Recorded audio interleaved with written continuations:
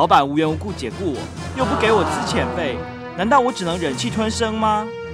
债务问题无法解决，银行又要对我强制执行，生活要怎么过下去？我爸爸被车撞了，人躺在医院里昏迷不醒，对方耍赖不赔钱，我该怎么办？警察先生，我我我没有卖毒品，我我是冤枉的，我可以找律师帮我吗？我被老公打，我想要跟他离婚，又没有钱请律师，要怎么办？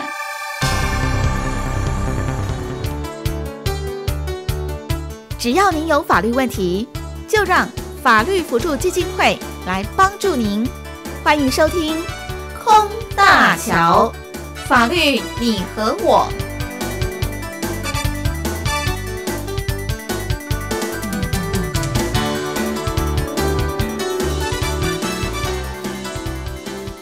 认识法服真幸福，获取新知不孤独。听众朋友，又到了每周二的法律你和我这个主题单元了。今天呢，我们邀请到的是冤狱平反协会的执行长罗世祥罗律师。哎，上次在去年的时候，罗律师也上节目来跟大家分享了当时。呃，沸沸扬扬，引起了社会大众很大关注的高雄呃这个越狱的案件哦。虽然当时呃没有后续，可是是不是也引发了您对冤狱的关注呢？很多朋友，很多社会大众一提到冤狱，都会觉得怎么可能有冤枉？但是您知道吗？其实见识制度随着科技越来越进步，当我们看电视影集或者是呃这个电影的时候，都会为越来越科技化的刑事案件的鉴定，感到振奋，感到不可思议，甚至感到人权提升了。可是为什么落实呢？我们真正的社会案件，我们会却会觉得他就是杀了人，怎么可以饶过他？或者是他就是王八蛋，怎么可以放了他？好，现在我们邀请到罗律师，Hello，罗律师您好。嗯，主持人好，各位听众大家好。是，呃，冤狱平反协会是不是常常接到这样的一个抗议，或者是民众的反应是，你们专门帮那些已经关进去的王八蛋这样？我想抗议可能还不至于，但是不少朋友们或者是一些关心冤案的、关心司法的朋友们会来跟我们讨论说，哎，你们救的谁谁谁，你们在处理的谁谁谁，是真的有冤吗？那会跟我们讨论，或者是说我们处理的这个案件进行到哪里？那我们怎么有办法确定 这个人他是真的冤的？是好，怎么有办法确定他是真的冤枉的？那就让证据说话。可是呃，过往取证据的方式常常流于诟病。我们想到的就是这个包青天最原始的哈，包青天电视影集，他取证据的方式其实就是不断的逼问哈，或者是呃这个呃用古老的方式哈，那去呃用人为的方式，用古老的方式去取这个证据。可是其实科技是在进步的，到了今天取证据的方式有哪些最容易让？呃，这个刑事鉴定人员甚至是法官都感到混淆，都感到难以取决的部分呢？对，我想主持人你提到一个关键，就是财政的问题啊。那事实上，我们最近有一个死刑冤案，就是这几天这一阵子都有上媒体新闻，也就是死刑冤案郑信哲案，他已经在台中看守所待了五千两百多天了，一个走了几乎呃可以说将近十五年的一个案子哈。那事实上，他是被判死刑，他案子关系到一个在 KTV 包厢内的一个杀警案，是个枪击事件。那听起来其实事情并不是这么复杂，因为人数是确认的，就是里面在场的有多少人。那胸腔是确定的，在这个被害的远景身上找到的子弹都是由同一把胸枪所开，那这个鉴定很清楚。那再来就是，那到底是谁开枪杀警？第一个我们要跟大家谈的这个财政上面令人很匪夷所思的，就是大家知道说胸腔，那可能很多人第一个直觉就是，那我们来验指纹，枪上有谁的指纹，那应该就是谁碰过这把胸腔。那事实上这案子发生在一月，那他的指纹是已经检察官起诉了，到地方法院审理的时候，法院才想到哦，那我们应该要验一下指纹，怎么案子没有验指纹呢？已经拖了三个月了。那拖了三个月，这个枪大家拿来拿去的，那这个到底上面的指纹还真的采集得到吗？上面的指纹真的就还是真的就是当时持枪杀警的那一位吗？已经不明了。后来经过比对，也确认说，其实根本验不出来，指纹根本就验不出来。那这就错失了第一时间发现真相的一个机会。那这令我们也有点难以想象啊，就是你一个这么严重两两条人命的命案。但指纹枪上的指纹却没有第一时间去验，那这是第一个。第二个则是他其实现场他是一个，因为当时发生枪战的时候，双方就是呃被告这边，那应该是另外一位罗先生，以及警方这边都有开枪。那我们后来发现，其实很多开枪出去，你弹壳弹出来之后，子弹往前走，弹头应该是要挖出来才对，确认说到底那个弹道走向是如何。结果现场很多弹头是没有挖出来的，哇，没有没有在卷内里面没有出现说明明就开了十几枪，但却找不到那十几枪的弹头。那这会影响到的是一个他在密室里面现场重建很重要，就是拉弹道。像可能有些人也会有些印象，就是在当初三一九李昌钰博士在回来台湾开始做这个枪弹比对的时候，那时候不是会射雷镭射光吗？要确认这个子弹是怎么走的，嗯那子弹怎么走，它的弹着点就非常重要。那当我们连弹头都没挖出来，你怎么知道说是哪一把枪从哪边打出去的？是，对，那这个这两个，第一个没验指纹，第二个弹头没有找出来，就已经很严重的收证瑕疵了。第三，现场没有这个收证录影带。嗯警方后来去现场的时候，要开始除了拍照之外，应该要把整个现场的空间全部都用摄影的方式摄影下来。这是发生在两千零二年哦，当时这些技术设备是绝对没有问题的，可以做的，但却没有。是，所以我们看到一二三已经三个三个瑕疵了。那再来则是因为当时我们从现场的照片看到，歹徒这边啊，所谓的歹徒这边总共有四把是非法枪支。两把是改制手枪，两把是制式手枪，这四把枪就放着像网站拍卖这样子，拍卖枪支的这样子，四支摆在一起，已经被移动了它本来的位置。嗯所以它原初原初的就是枪战发生结束之后，原始的位置究竟放在哪？这件事情已经可以说是不可靠，因为已经被动过了。嗯哼那这就又产生一个可能会产生误判或司法冤案的一个关键，就是你现场已经不是真正的现场了。好，所以接下来就是大家来拼图，对不对？对，所以其实事后，那另外的是这个 KTV，它在案发没多久之后就歇业，那整个包厢也都拆除了。那嗯所以包厢拆除也让法院说，啊，那都现场都不在，我又要怎么回去勘验呢？我要如何去履勘，或者是说重建？那事实上，法院当时的认为包厢拆除就无法重建，可能会也是导致现在这个死刑冤案一直无法被理清真相的一个关键啊。那一个枪击命案要判死刑的案件，没有做现场重建，所以这几点第一时间的收证，那后来这个这个财政上面的疏失，以及最后法院又没有再做一个现场实际枪弹重建的这个的作为哈，那其实就让郑信哲这个含冤莫白，那最后也死刑定验，目前已经在就是刚刚提到在台中看守所待了十四年。这件案子其实社会大众呃媒体一直都在追踪报道，也因为呃民间这个呃司法团体的努力，那呃之所以受到这么多的关注，其实是因为他见识的缺陷实在是太多。就像刚刚罗律师所分享的，有这么多明显当时可作为而没有作为的见识技法，并没有完整到位，对不对？呃，第一个对，就是财政上面的瑕疵，它就是有点，因为现场就不在了嘛，所以第一时间没有收集到这些证据，或是财政上面的瑕疵、指纹、没验等等的，其实就让这个案子错失了一个很关键的一个时刻。那再来，其实也包括说，呃，监视人员、法医他们在法庭上、在侦查庭上面出庭所说的一些陈述。其实从事后诸葛的角度来看，那些陈述是都必须要画上问号的。那这边我可以举两个例子，第一个是呃监视组这边的监视人员，他有提到，因为呃刚提到关键就是谁开枪杀警，那现场有一位，也就是另外一位被呃呃身身亡的死者罗先生。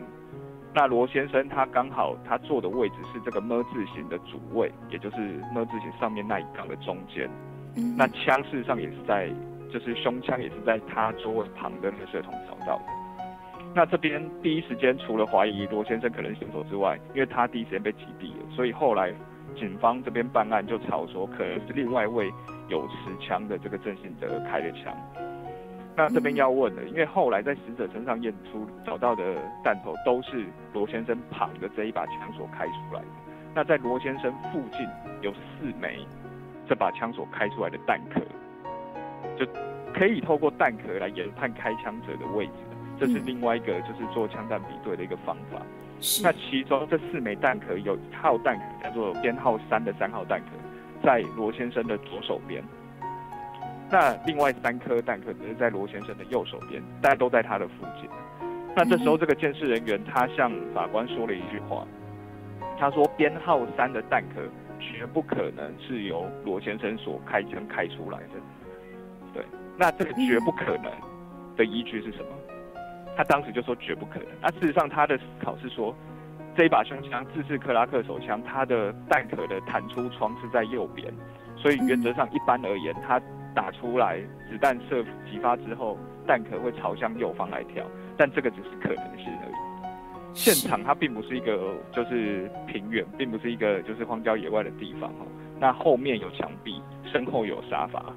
那这个反弹来弹去、弹来弹去的状况，有没有可能弹到左手边？其实这个可能性是在的。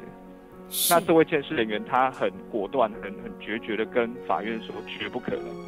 那既然编号三的弹壳绝不可能是罗先生所激发的，换言之，那一把枪有另外一个人持持有过，那个编号三的弹壳是另外一个人持枪开出来的弹壳。那又在那个罗先生的左手边，其实就是曾信者所在处。嗯嗯所以说，法院其实这边就是采用了一个监视人员，他很某程度上是是过于武断的一个判断，过于武断的一个证词，但最后其实让法院就形成一个印象，说那枪就是郑信哲开的，这是一点。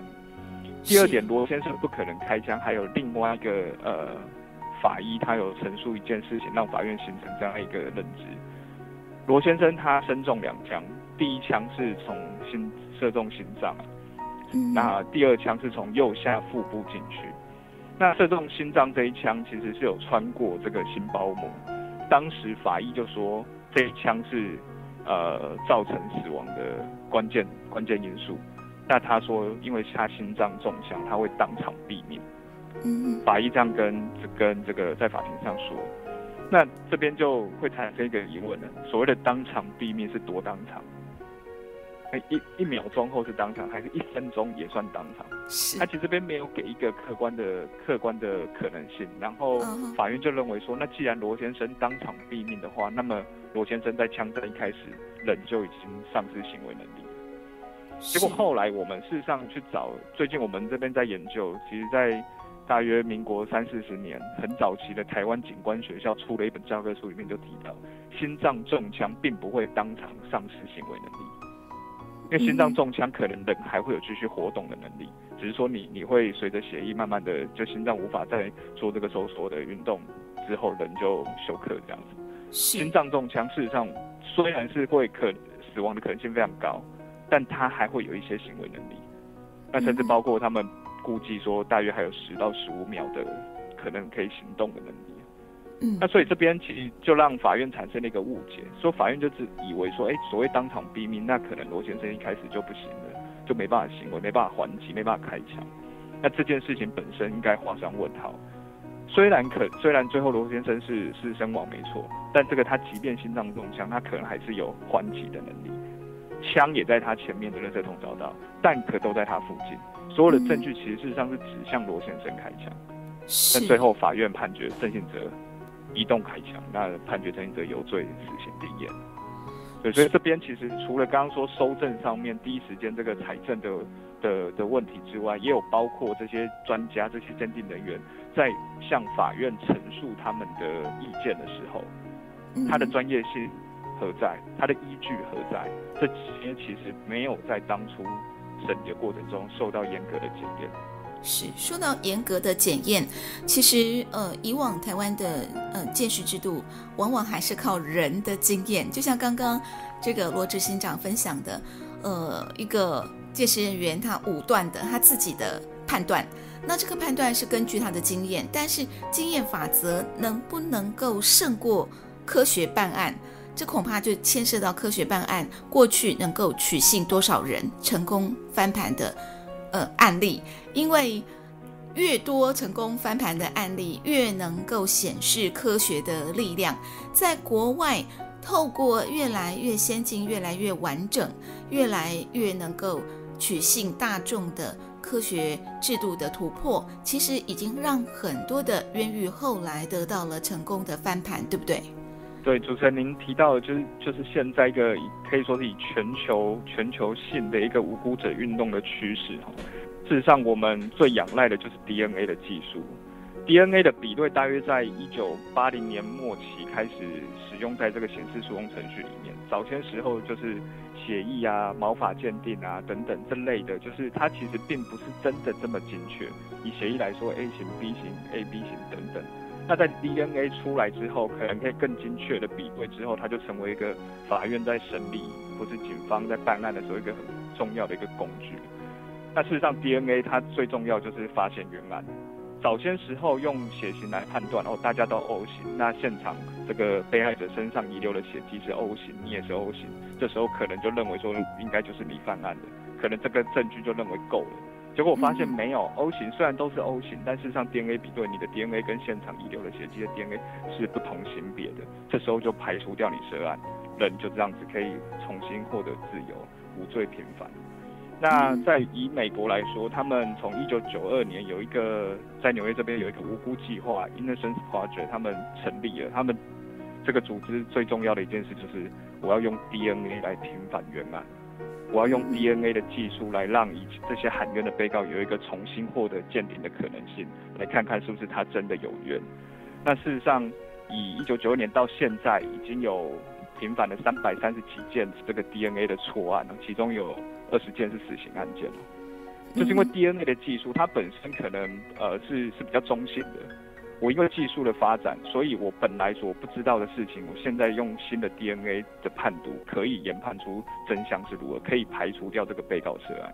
那这个在台湾其实我们也有相类似的案件呢。二零一四年台湾冤狱平反协会第一件成功平反的案例，陈东奇陈先生当时其实就是一个 Y 染色体的 DNA 检定，那当时用十七组的 Y 染色体，说不排除混有陈先生。那不排除混有，依照我们这个对语文的认知，就不排除就代表可能有可能没有。嗯哼。但最后法院认认为有，那判决陈龙奇有罪，那四年的有期徒刑。他是一个妨害失主的案子。那陈龙奇喊冤，他就说我真的没做这件事情，我真的没做。那判决有罪定验之后，他向协会这边来说明他的案情。那我们也觉得这个 DNA 说排除，其实有一些疑虑。那经过咨询、征询专家的意见之后，我们认为应该还有在调查的空间。当时其实就向法院来主张说应该在调查，向法院申请再审。那非常幸运的是，当时刑事局的这个 DNA 的鉴定有一个技术的引进，本来验十七组，现在验二十三组，多验六组。是。那后来法院知道说原来多验六组，那我好，我们再验一次，就再验这六组，排除掉陈龙奇。没有陈龙奇先生的 DNA 在那个被害者的检体上面，是，这这是一个，这是一个很重要的一个突破，就是你你技术有发展嘛，本来十七组现在二三，这并不是谁有错的问题，这是科学上的局限以及科学的发展进步所可以让我们真正发现司法的真相。是，这样的一个技术，事实上在美国刚提到他们平反那么多件，其实是他们有建立一个制度，这个制度就是当判决有罪确定之后。被告受判决人，这个有罪的被告有权可以申请，我要 DNA 再鉴定，我要再验一次 DNA。嗯哼。那他当然要说明说有简体还在，或者说呃这个有 DNA 再鉴定的必要，技术有发展等等的，做一些简单呃陈述跟说明，说有再验有验 DNA 的必要之后，要给他有有机会重验。那这样的一个技术，其实是让一个冤案有机会获得平反是一个关键。其实去年二零一五年，我们有另外一件也是非常重要的一个冤案平反吕建明案。是那吕先生他当时是，呃，检察官为他申请再审，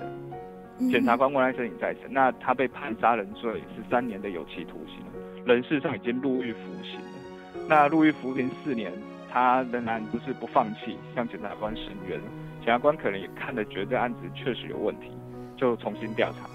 那当时在这个被害者身上有采集到一处 DNA，这一处嗯 DNA 以这个案子是发生在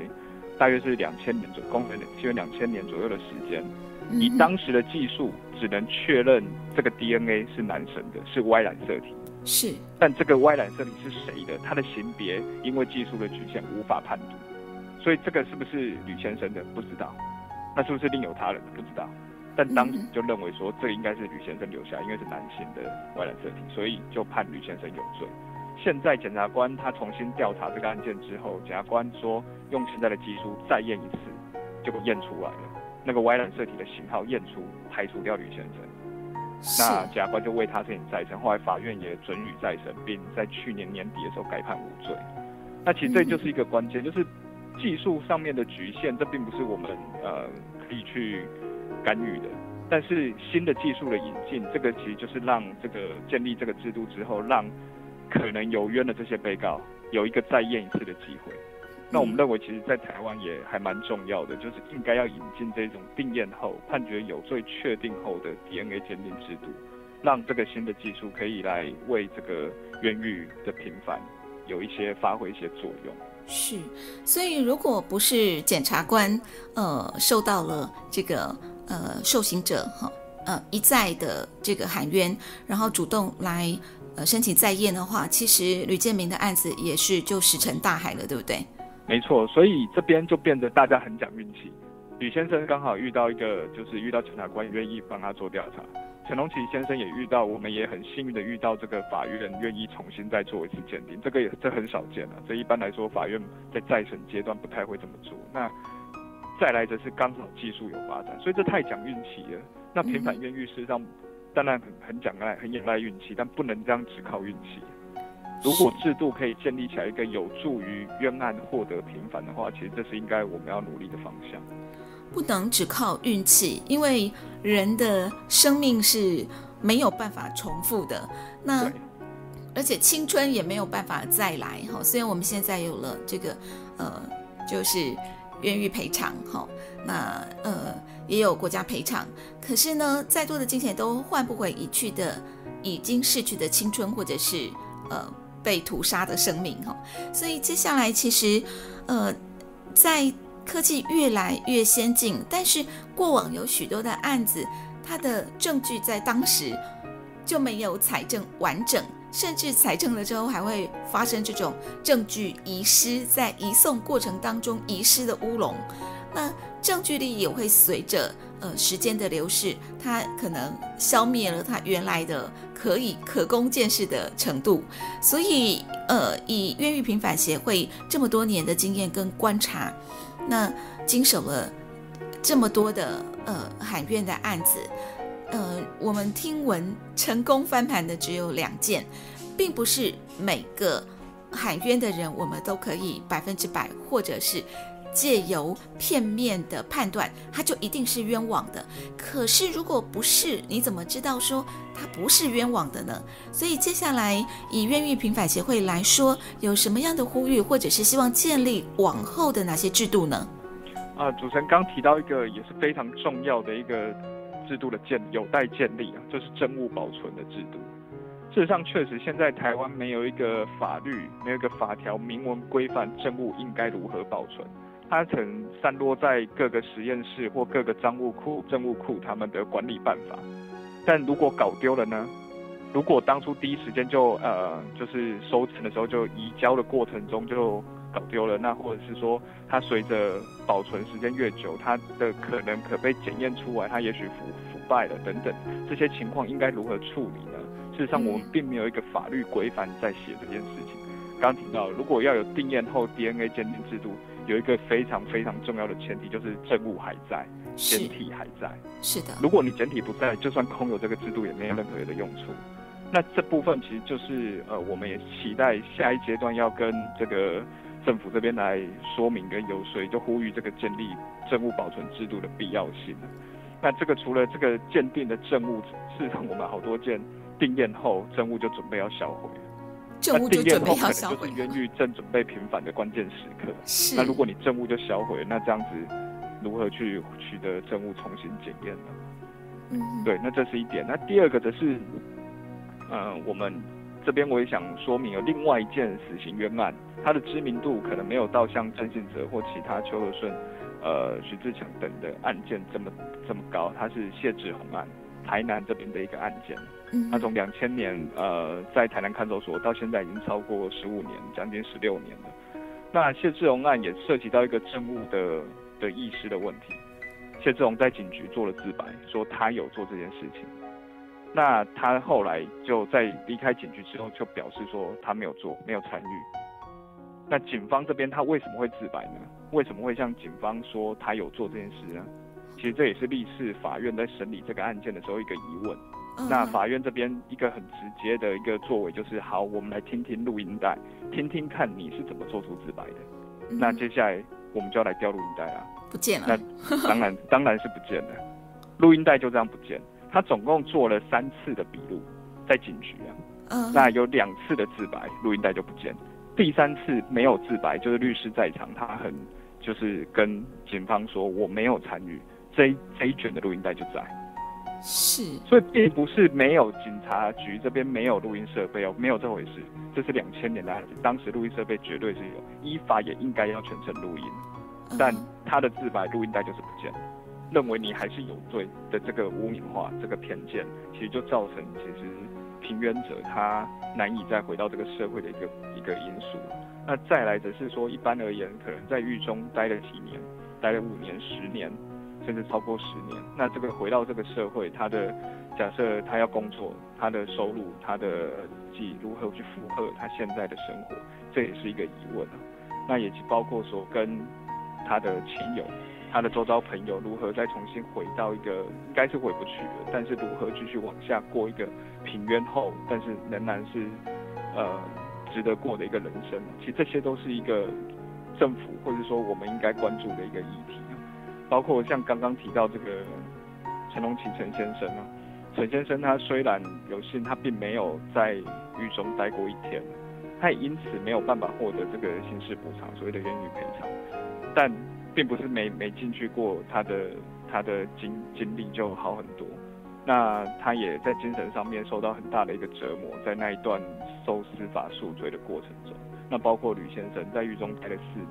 那出来之后仍然是面对了这个外界的质疑啊。那其实这部分是我们也应该要去关心的一个课题，倒不不只是说